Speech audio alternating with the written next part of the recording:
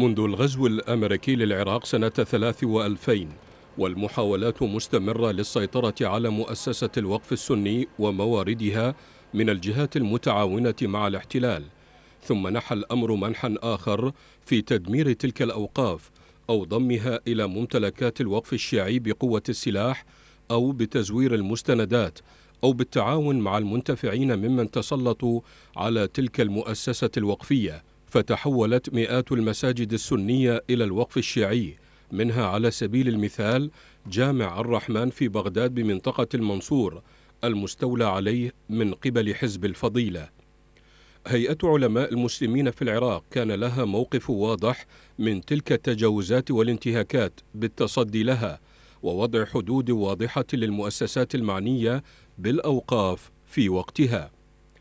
الهيئة أكدت في بيان لها أن ديوان الوقف السني يشهد ترسيخا للسياسات غير الصحيحة في إدارته والتصرفات غير المنضبطة في تسييره.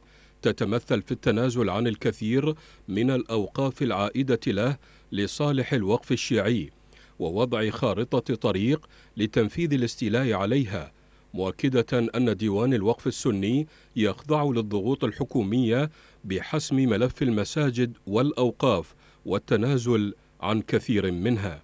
الهيئة قالت إن لديها معلومات تؤكد قيام ديوان الوقف السني بتفريط كبير بمصالح الوقف ووقفياته والمساجد المسلوبة منه.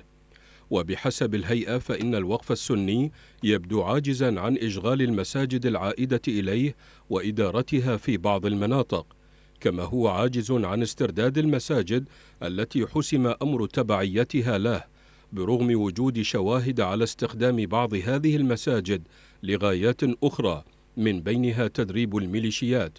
ويذكر أن نحو 350 مسجدا تم حرقه أو هدمه بعد تفجيرات سامرة عام 2006 وفق الوقف السني آنذاك.